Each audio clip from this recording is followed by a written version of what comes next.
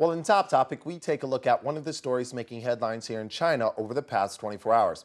And today's topic deals with something that has been getting a lot of attention online.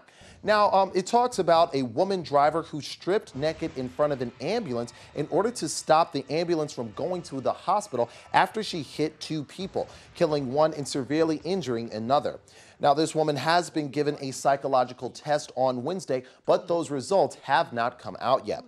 Now, the woman is Zhang Yan, a university teacher in the city of Linyi, who is, uh, which is located in the Shandong province. And she sped in her residential complex and hit a woman on a moped who had her four-year-old daughter sitting behind her.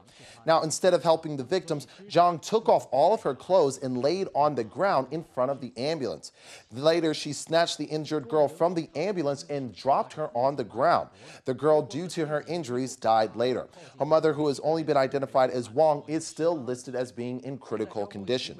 Now, neighbors said that Zhang was furious when she left her home on June 17th, and a relative of Wang, Wang Le said that Zhang drove into the crowd after finding out that her husband had a mistress. Zhang has been detained for involuntary manslaughter, but Wang Le Wen said that it was intentional homicide. Wang went on to say that Zhang teaches medicine, including medical psychology and psychiatry. She disguises herself as a mad woman and hinders emergency treatment, and because of that, she is very evil.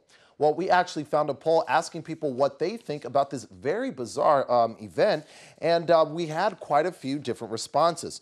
68% um, of the people polled don't really seem to understand what is going on in this case. 20% uh, of the people polled asked why didn't anybody stop her while she was taking her clothes off, and why didn't anybody drag her out of the way of the ambulance? 10% of the people polled don't seem to think that she's a really good teacher, and 2% of the people polled seem to have found it in their hearts to sympathize with Zhang, saying that her husband must have really hurt her in order to make her act this way.